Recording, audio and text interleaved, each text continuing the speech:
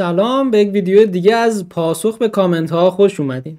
خب دوست عزیزمون آقای محمد امین عبادی هیدر که در کانال معروف به عبادی کبیر هم هستن از ما پرسیدن که آیا کعبه اصلی همون کعبه زرتشته؟ خب پاسخ به این سوال رو باید اینطوری بگیم که اول اینکه اسم کعبه زرتشت از قدیم برای این خونه نبوده. این خونه که حالا نزدیک به استخر هستش اون بنایی که هستش به نزدیک به شهر استخر باستانی هستش و در نقش رستم. و ظاهرا در دوره ساسانی بهش بنخانک می‌گفتن. پس اول دقت کنید که اینجا از قدیم اسمش کعبه نبوده. این یک. دوم اینکه طبق اون داستانهای دینی بنیان کعبه توسط ابراهیم و فرزندش اسماعیل گذاشته شده. و خب این دو نفر از زمان نسبت به زمانی که حالا این ساخت بنای کعبه زرتوش رو داریم خیلی عقبتر هستن. و چرا میگیم عقبتر هستن؟ با توجه به معماری که این ساختمون داره و اون جایی که هستش روبروی مقابر شاهان هخامنشی تقریبا میشه احتمال داد که در زمان هخامنشی ساخته شده این بنا. و خب ابراهیم و اسماعیل عقبتر از این شاهان هستن از نظر زمانی. پس احتمال اینکه اینها رو ساخته باشن هم دوباره یک مقدار اینجا مشکل پیدا می‌کنیم. به ویژه اینکه طبق گزارش ما می‌تونیم کعبه رو در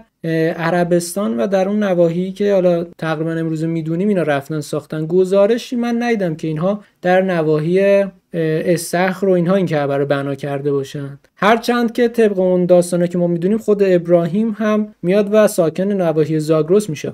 و یه نکته دیگه هم دقت داشته باشید این که این کعبه ای که حالا امروزه در عربستان هست و اون شکلی که شما ازش تو ذهنتون هست حداقل از زمان خود پیامبر اسلام تا الان طبق اون چیزی که من می‌دونم 6 7 بار کوبیده شده و از نو ساخته شده و تقریبا متریالی که الان وجود داره براشون ماده که دارن ساختنه به جز اون سنگ معروفی که آرا به حجر الاسود هست اون به خاطر اون داستانهای مهم دینی و عقیدتی که وجود داشته به جز اون بقیه اون material ش material جدید هستش و فقط اون حجر الاسود است که از دوران باستان از زمان پیامبر اسلام مونده.